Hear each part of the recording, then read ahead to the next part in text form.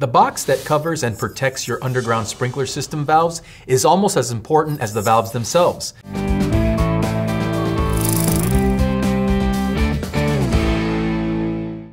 Although some irrigation installations are still being done with valves installed above grade, it is becoming more common for the valves to be placed below ground.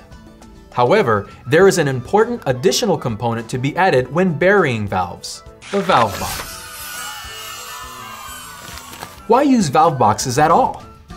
A valve box secures the valve in a clean environment and helps prevent damage to the wires and makes finding and working on them more convenient when they need to be serviced. A properly sized valve box will provide plenty of room to access and work on the valve.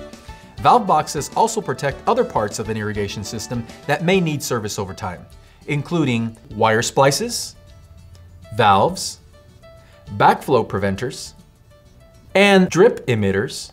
An emitter box is a valve box that is manufactured to cover multi-outlet drip emitters. These differ from standard boxes in that they have slots on the sides to accommodate the drip irrigation distribution tubing. To blend in with the landscape, valve box covers are available in a variety of colors. Black, green, tan, and purple. If you're installing a valve box in a turf area, a green cover blends in better with the grass. If you're installing a box in an area with rock and sand, a tan colored cover may work best, and so on. When choosing a valve box, size really does matter. If the box is too small for the number of valves, it will be nearly impossible to service. If you don't have enough working room, you'll have to dig the box out to work on the valves, which defeats one of the primary purposes of placing the valves in the box in the first place. To achieve optimal performance, choose the size appropriate to the number of valves needed to be enclosed. Valve boxes are also used in specialty situations. For example, if you're installing a fertigation unit or need accessibility to a quick coupler or QCV device. Another place where valve boxes are used is when installing a drip irrigation system. This system includes the valve, pressure regulators, and filter. Putting them in a valve box is especially helpful when cleaning and for when changing the filter is needed. Regarding placement, the apparent objective is to install valve boxes in areas where they will be less noticeable or hidden from view entirely. That way, they will not detract from the beauty of the landscape yard. Irrigation valve boxes provide security for irrigation valves by preventing vandalism and breakage. It protects wires from UV sunlight exposure.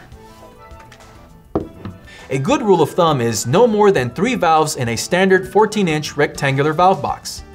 Playing the game, he who has the most valves in the valve box wins.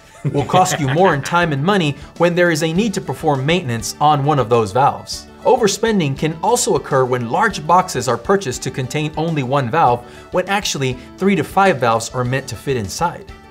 Another mistake commonly made is to try to modify a box to suit some need without taking into consideration that part of the valve box being changed might be critical to the overall design and strength of the box, causing it to break when stepped on or run over by a mower. And remember, Sprinkler Warehouse's online store has the best prices and availability on everything you need for your irrigation needs. And if you have any questions, give us a call or chat with one of our customer service agents on sprinklerwarehouse.com.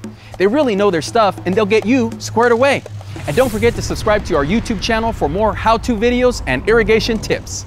For Sprinkler Warehouse, I'm Alfred Castillo, your Sprinkler Warehouse Pro.